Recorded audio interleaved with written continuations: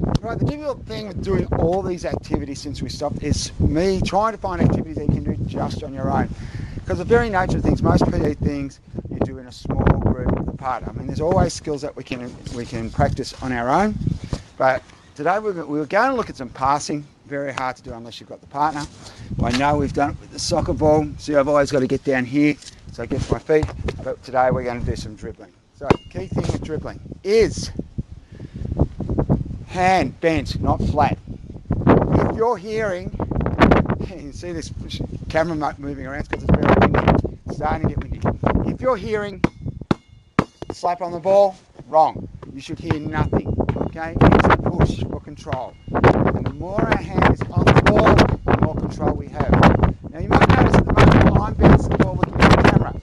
That's what you should be aiming to do eventually. You might have to start with your head down, aim to bounce the ball head up. Because if we've got our head up and we're in a game situation, then we can make decisions on who to pass to. If our head is down, we can't make any decisions who to pass to because we can't see what the options are. So we are aiming to make the skill automatic that we don't have to look at the ball. If you have to look at the ball for now, go for it.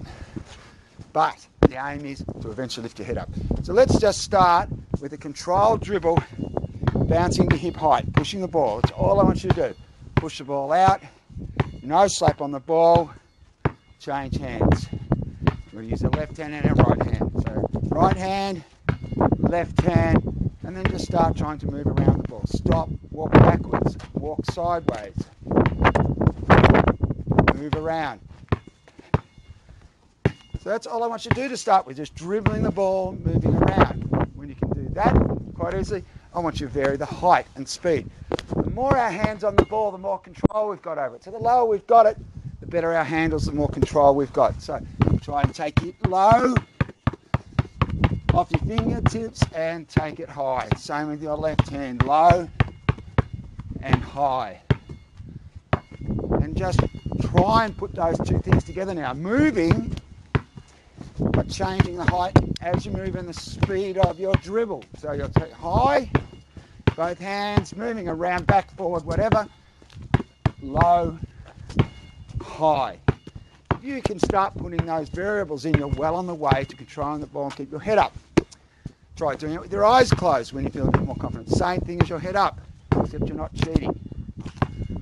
Okay, so very simple things to do on your own. Once you start becoming more confident, you can start putting a few more trick things in through your legs. All right, I need to get back. Doesn't want to follow me again. I need to crouch down for it to come down. You can see me. So, as I said, you can start going through your legs, backwards through your legs spinning, changing hands, spinning the other way, changing hands. Okay? Start doing that to, to, to, with the ball at home for your PE lesson this week. Now, one more thing. When you've done it, same as the soccer though, you can get a dog, get whoever, try and take the ball off you and you try and control it. One more thing, changing direction. We want to be able to change hands I want you to practice your V bounce. Making that V. Nice big V. And as you get better at it, get it lower, harder, wider. You might notice that I'm starting to rock and transferring the weight from one leg to the other. Across your body with a V bounce. Okay, you find a line. I've got a line here. And you can make the line where you want the ball to bounce. Faster, longer, and last one, when you're really good at it, one hand, V bounce. So your hand's got to get to the other side of the ball. Both hands V bounce. I'm not as good on my left. Haven't been playing enough basketball lately. Far better on my right. So I know I need to work on my left with my V bounce control. So in summary today, PE lesson, no game. Unless you get a brother or sister again, and you can play a game of popcorn. Two basketballs trying to tap the ball off each other and controlling the ball.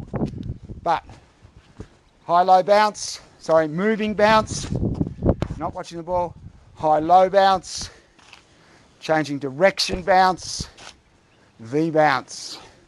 Okay? very good, easy one today to do at home. Starting to get control of that ball. Key is head up. I wonder how many people can do it at the end with their head up, not looking at the ball. Hey guys, we'll catch you next week. I think this might be our last day of sunshine. That's why I've jumped out on a Sunday and filmed this. But have a good week, three to six. We will catch you next. Actually, I'll catch you Tuesday, straight into a PE lesson next Tuesday. I won't be there on the Monday. Have a good one.